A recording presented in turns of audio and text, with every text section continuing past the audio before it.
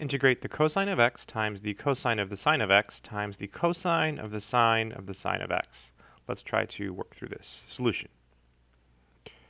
So a u substitution seems to be the right approach to take.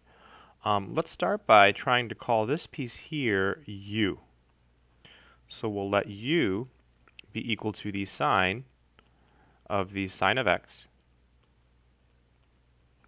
And then du well, the derivative of sine is cosine, so this is cosine of sine of x times the derivative of the inside function. So our inside function here is sine x, and so its derivative is cosine x.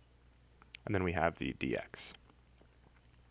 And fortunately for us, this is precisely what appears in the integrand. Right, we have cosine of sine of x times cosine of x. That's exactly what we have.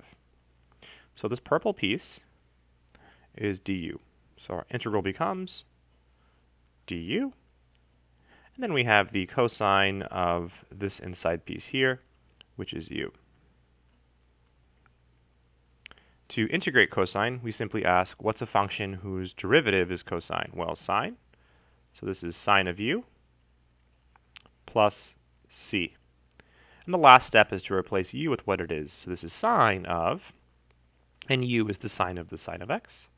So sine of sine of x, parentheses, parentheses, plus our constant of integration, c.